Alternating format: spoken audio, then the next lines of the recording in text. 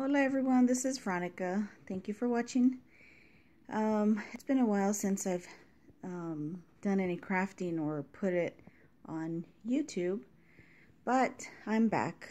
So I wanted to share with you some cups that I finished personalizing.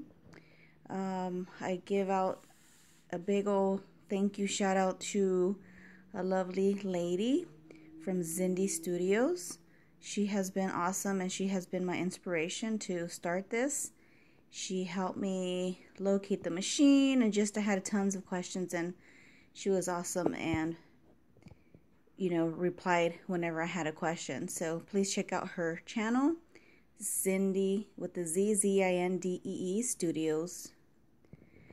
Anyway, so this is the first cup that I personalized. This was my test drive one per se. So I use my daughter's name. And this is what I did. These were a lot of fun to make, by the way.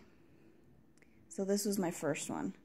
It took me a very, very long time just trying to learn the machine and stuff. So, yeah.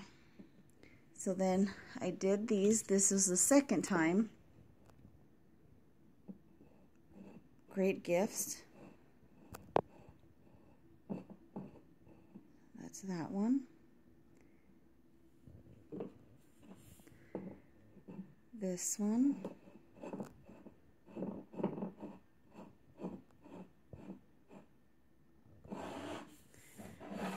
This one. I'm not going to turn it. You guys get the idea. And this one. So they might not be perfect yet, but with practice, it'll get there. Please feel free to leave me a comment of what you think. Sorry if I'm moving my camera so much. Um, getting ready to go to work, and I wanted to shoot this video before I left. So, like I said, please comment below any idea, any suggestions, anything that I could have done better or, you know, avoid doing. I would, you know, really appreciate your input. All right, guys. Thank you so much and have a great day. Thanks for watching. Bye-bye.